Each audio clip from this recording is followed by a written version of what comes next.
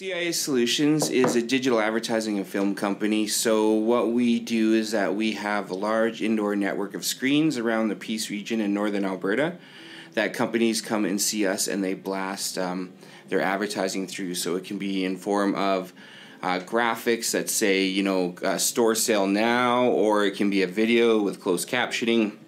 That's how we started.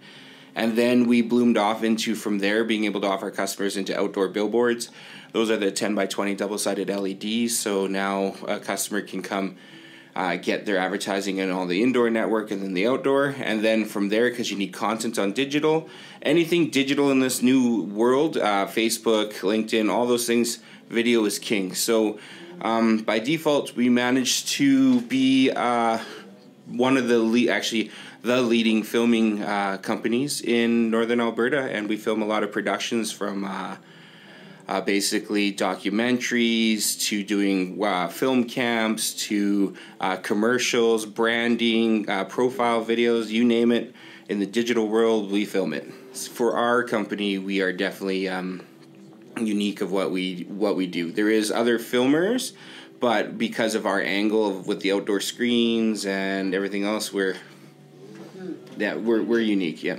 Well, I think how how it all started is that I started doing business in town of selling advertising and filming, but then um, as I discovered my own heritage, uh, my daughter went to. Uh, my youngest daughter, Summer, she ended up going to the Friendship Center. They had a program called Head Start, and that's where they work with uh, young Indigenous uh, children pre kindergarten and teach mm-hmm. them fundamentals. And it's supposed to actually in, inject culture back in the family, yeah. which it did next thing you know, I was right involved with the movement, and mm-hmm. um, then I saw the need. Is that you know the one thing I learned growing up is that I wasn't.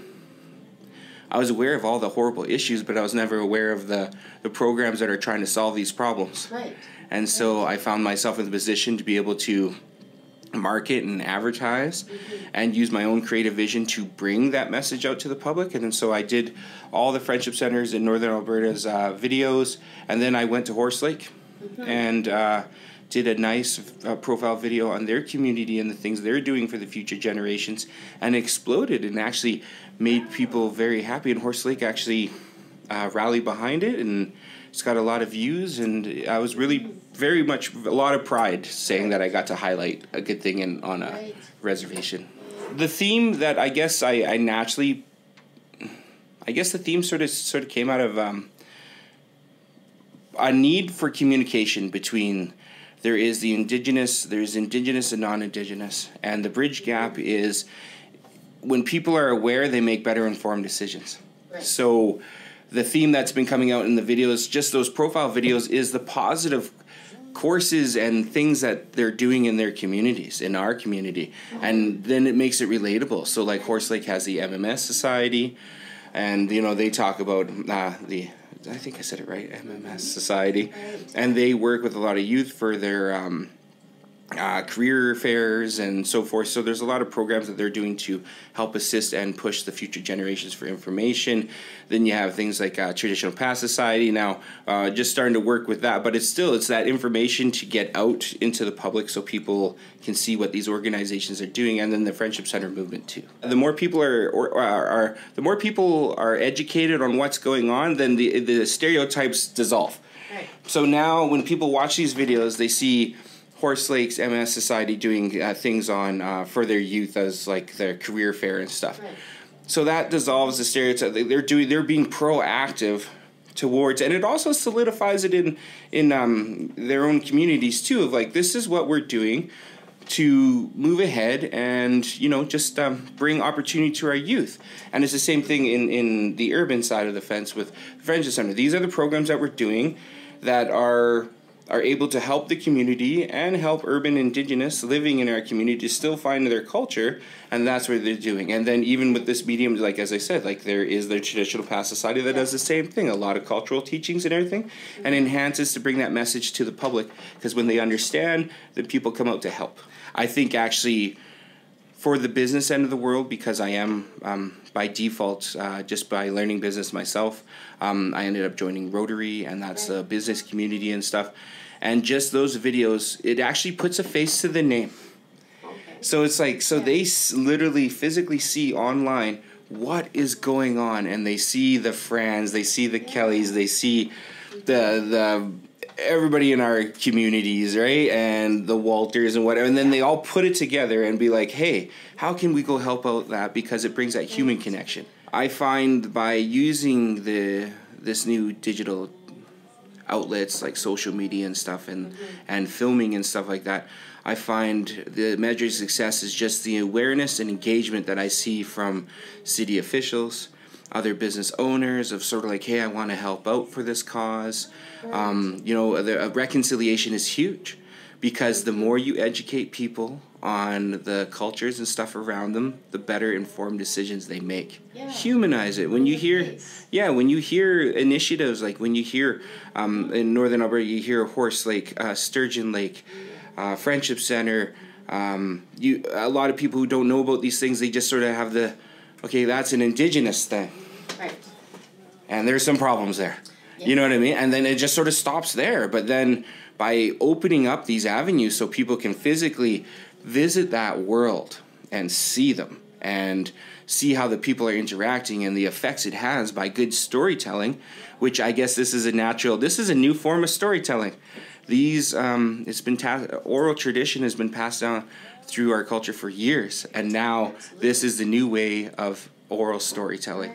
And it, and it reaches the other this medium reaches the other side of the fence so you want true reconciliation well show the positives and high you can the news right now highlights all the negatives and then you have a society that's all negative. Everybody's all worried about what they look like. They're worried that they're not you know not using the right shampoo wearing the right jackets. But when you highlight positive movements and nothing but the positives and you can drill the negative out completely and just have this whole generation thinking we are less than because look at all the problems. But I think the time now with this medium is to use it powerful in the positive sense of like, look at all these positive initiatives, things, and I want to get behind that and push it, keep pushing it forward. CIA designed a program, right, and we called it uh, Fright Camp. So, but it was the second we call our first camp we had was called Identity, and that is where we wanted to take kids and film teach them film. Teach them how to use this medium and hands-on experience. So we will pick a project and we're like okay we're going to film this last one we did was uh, a, a scary movie right? Called uh, what was it called? Simple seance. Okay. and it was going to be released halloween so we wrote this script. We designed the program where the students came in and rotated through cinematography, makeup, da da da, and at the end of the program, they had a short film that was shown all across the internet. It took us about two months to organize. So the cool thing is that we had this concept for the project, but then this wonderful program and a wonderful company called Telus Story Hive. They do great things for. Um, they're really working with filmmakers and the youth, and especially they're they're trying to promote. They really want to promote uh, indigenous uh, filmmakers and camps and stuff. So that was what you did here in our. Yep. So they funded us. So we had the concept. They came in. They funded us. We told them how we want to do it hands on uh, instead of just the the first time we did it. We had a week of courses in our class in our in our office, and then the second week they were filming a documentary. This time we're like, nope.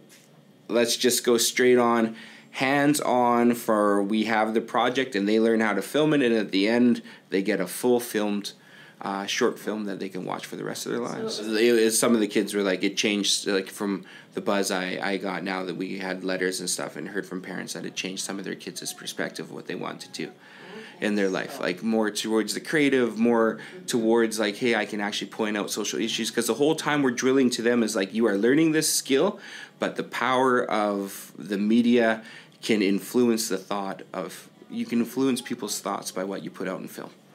So they learn that skill we showed up with the script but the hands-on Okay. yeah with the hands-on and set design we did Making like it happen. yeah, but then when it actually came to filming, they showed up. Right. We made it. Uh, we work the same program uh, we did with uh, the public school system, PWA, and so their film camp, their film course that we do once a year, which is similar to the Identity, was sort of blended into one, and we made that whole course. There is a behind the scenes documentary out right now that one of the students made about the whole process of our first film camp we did. Well, the cool thing was, yeah, it was Wow. indigenous and non-indigenous students learning this. So at the end, they had that short film. We had uh, one of the actresses uh, for the short film is indigenous, and uh, Larissa did a wonderful job. And then you had all these other kids, Indigenous and non Indigenous, working together for a common goal. And it changed their perspective because instead of just a lot of times when they're kids, when you teach somebody, they sort of get the kid treatment. They get the, okay, well, here's a camera, but not a really good one, and here's this. But for us, we were like, no, let's film something with some quality and drive it to the kids that, hey, it is possible. And they did it all. I guess to sum it up is knowledge is power. And we have to teach our youth on both sides of the fence of we have to acknowledge Canadian history and learn to work together to change history. So the more we teach our youth about where they come from on the indigenous side, the more power they have, and we teach them culture and teachings and hands-on for all the youth on both sides of the fence, so they just know the basic of where everybody's coming from. Then we can move on as society and handle bigger things.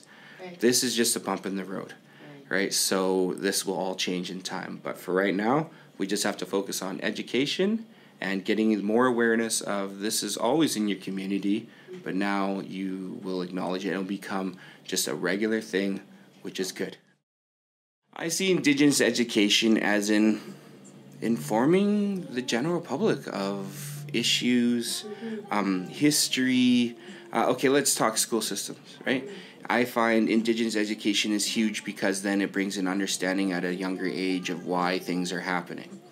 So, um, definitely the involvement because the indigenous aspect of our of our wonderful country is that we were first and we're never going away. Yeah. So we should honor that. Learn about learn about our cultures and the different things. A little bit of hands on. There's always got to be a mix of a little bit of hands on and a little bit of like book work of like before everybody showed up, there was flourishing trade, there was flourishing laws, there was governance, there was bigger dynasty. You go into more in the South America end of the world, there was like bigger dynasties that's built the Aztec pyramids, and it spilled off in North, and then there, lots of trade on the coast and everything when you grow up and you start learning education in school, you, you you sort of figure out you're like, oh look, we're learning the indigenous about Haida and stuff like that. But you sort of get this impression that before anybody showed up, everybody was just running around with sticks trying to make their long houses and stuff yeah. and doing whatever. But then uh, you learn later on when you start getting educated, especially this day and age with the internet, that that wasn't the case it was its own flourishing society and governance, and just because of just the way the uh, the ideology of the time of like colonialism showing up, taking land to get resources, that is what ended up happening, and then you had uh, you know the whole society was degraded to but survive still. I would say definitely uh, the book work end of it, like in the social studies end, but I would say uh, some practical too uh, some practical teachings, the more I thought about it, it's like, yeah, having some of that. Okay, well, we're learning about this and we're going to learn about why drums are whatever, but this is how you do it and this is the meaning behind it. Right. So I would say a little bit of a balance of hands-on and textbook. And it's also, it's a, a self-empowerment too, because when you learn um, from myself, who is uh, half Cree, half mm-hmm. German, you know, all Canadian, right? but, um, yeah, just that whole understanding of myself made such a huge difference in my life when I grew up. Mm-hmm. The more I understood both sides of my heritage, mm-hmm. the more I felt centered. Right. And the more I felt included. But when I first learned, and it's also spoon feeding the history too, because when you don't get taught anything in school and then you learn everything that's happened, you're horrified. Right. You're just sort of like, I can't believe oh my like it is overwhelming and then you understand and it makes you mad because you're like why didn't anybody just tell me this in, from the beginning and this is what i'm learning now and this is all the issues it's, it seems right. bleak right. but if you educate the young now and you educate on for both sides of the fence then that puts everybody in it does promote healing and it also promotes change for future generations because nothing happens tomorrow it's yeah it's down the line. I don't know. I think if you're just taught the awareness of the situation from a young age, you just understand it. Yeah. You know, the part the part that's overwhelming is the non-understanding and the like well where's everything at now right like yeah. that's the part that's overwhelming right, right. So it's more of like you just start at a young age and it's sort of like, hey, this is how it was, but. You're fixing it by learning this. And we're fixing it together. And that's the healing part. Right there in a nutshell. It's like boom, boom, but look at us all work together. Empowerment. It's totally empowerment. Knowledge is power. In the next 10 years, I'd like to see it for my like I have daughters, right? And I would like to see it more as a common curriculum thing to learn about indigenous awareness. Just history, so forth. I like that to be more common. On the digital end of the world, I would like I would like more of um, I would like more awareness. I'd like organizations, indigenous organizations, to get out and use these tools that are free more Mm-hmm. Like when we did that profile video for Horse Lake First Nations, mm-hmm. I was so proud of it. And I saw the pride on every one of those people who contributed to that. And then when the message got out there, all the people responding, yeah, you always get some negative, but there's a lot of people like, wow, they're really doing things and it like empowered the community. And it's like, that's got to keep going on. Like, we all, these mediums for communication are free.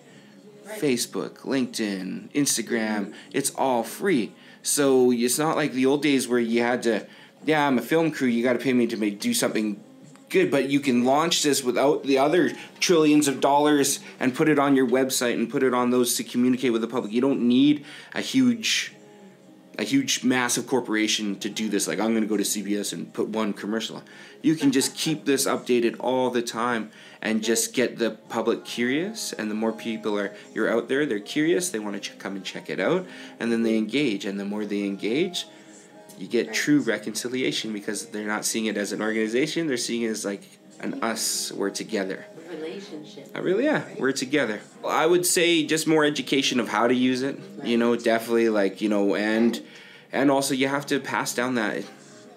Okay, I'm talking all digital, but there is certain things that mm-hmm. have to be passed down, like through elders and stuff like that, right? But on the new communication end of the world, like it has to be taught. Like even it's so new that people are still learning, and then it changes again, right? So I think it's just uh, as the as our young ones grow up from this generation on, I don't think this conversation is going to be relevant in ten years because it'll be like, well, that's just how things roll. My childhood was in the '80s, right? So I didn't grow up with a computer and that, but then I remember the first computer. I was like, wow, that takes a long time to fire up. I'm going to leave now, yeah, and I'm going to go play. play, go hang out with my friends, and I'm going to do things. But then that slowly changed, and now this generation doesn't even know what life was like pre-internet yeah. So it's generation that's right in there. Yeah, we're at the cusp. It's almost like we have to do the catching up now. Our youth already know how to use it. Yeah. We're not using it effectively to teach them. Right. So we just got to learn right. fast and teach them because so they're already using it. it. That is a huge thing because right now they're getting blasted with the Kardashians. They're getting blasted with all this. This I guess sort of shallow way of using it they're getting blasted with so much information, but it's sort of like, but as soon as you teach them the skills of how to film, how to do recordings like this, how to utilize the net and use it for positive, you're totally right. We could focus on another Kardashian in the future and talk about their shoes, but we could educate our youth of that if they want to make change, they can do it through the digital medium and communicate with thousands without. The trillions of dollars it used to take to communicate.